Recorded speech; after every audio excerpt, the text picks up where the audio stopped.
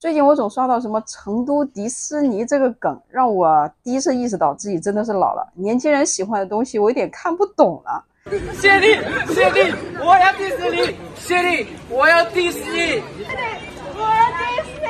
谢丽，谢丽，我要迪士尼。开始我以为谢帝是哪个孩子的家长，孩子不听话，闹着想去迪士尼。然后打听了一下，说是一个 rapper 写的歌，年轻人特别喜欢。我第一反应就是，是不是跟我年轻的时候喜欢周杰伦的歌一样，被我父母那一辈的人特别的不理解，冲上热搜肯定是有原因的。好奇心驱使下去网上一扒究竟，原来是一个叫糯米的说唱歌手，在一个说唱节目的海选中。被现场一个叫谢帝的评委给淘汰了，认为自己的大好才华因为谢帝淘汰自己而没有办法施展了。说唱界一般就是看谁不爽就会写歌回怼，然后糯米呢就写了一首歌，什么谢帝谢帝我要 diss 你，放到网上配的场景呢就是那个成都有一个小区，然后配着那个健身器材跷跷板，连糯米自己都没想到这歌竟然火了，甚至带着成都这个不起眼的小区也给火了。吸引了无数年轻人前往现场打卡，嘴里唱着“谢帝谢帝，我要 diss 你”。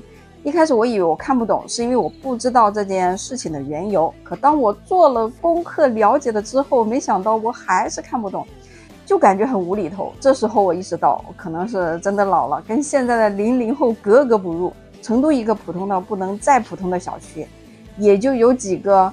很常见的健身器材而已，就吸引了全国各地的年轻人纷纷前往现场打卡，甚至都参与其中。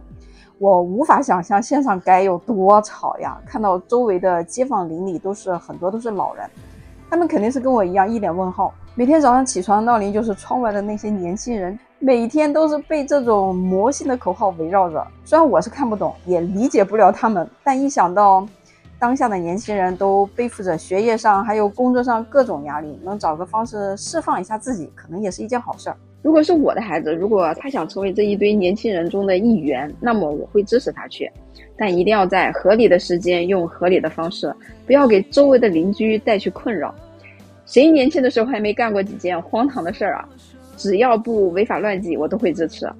四川文旅肯定是没想到，想破脑子去宣传的什么九寨沟、四川。乐山大佛等等，四川那么多好玩的地方，人家年轻人愣是没兴趣，一股脑全往这个老旧的小区去挤，几个跷跷板而已，竟然成为二四年热门的旅游景点，并上了热搜榜。接下来不知道四川文旅能不能抓住这个好机会呢？